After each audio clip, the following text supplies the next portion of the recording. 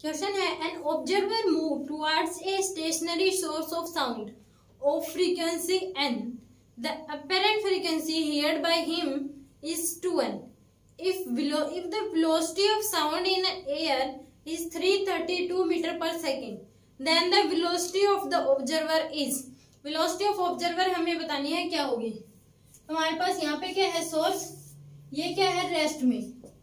जो apparent frequency जो actual frequency दे रखी है हमें source of sound of frequency n जो एक्चुअल फ्रीक्वेंसी दे रखी है, वो दे रखी है हमें एन साउंड की फ्रीक्वेंसी दे रखी है three thirty two meter per second and observer हमें फाइंड आउट करनी है ऑब्जर्वर की वेलोसिटी क्या होगी? वेलोसिटी ऑफ़ ऑब्जर्वर और इसने कहा है कि the velocity of observer is और जो ऑब्जर्वर है, वो क्या कर रहा है?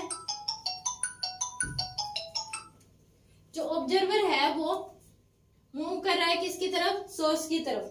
तो वेलोसिटी ऑफ़ ऑब्जर्वर क्या होगी ये हमें बताना है। तो वेलोसिटी ऑफ़ ऑब्जर्वर क्या होगी?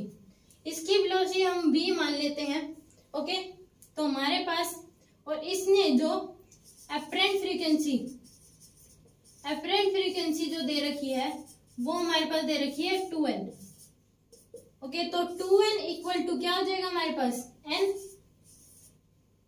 thirty two plus velocity of sound plus velocity of sound thirty two plus velocity of observer v divide by velocity of sound plus velocity of source. Velocity of sound क्या है?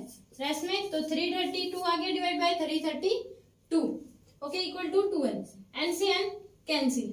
तो three thirty two into two equal to क्या आ जाएगा हमारे पास? Three thirty two plus v three thirty two into v into two equal to three thirty two plus v तो हमारे पास ये आ गया four six six equal to three thirty two plus v तो v की वैल्यू हमारे पास क्या आ जाएगी? Six sixty four minus three thirty two तो हमारे पास कितनी आ गई?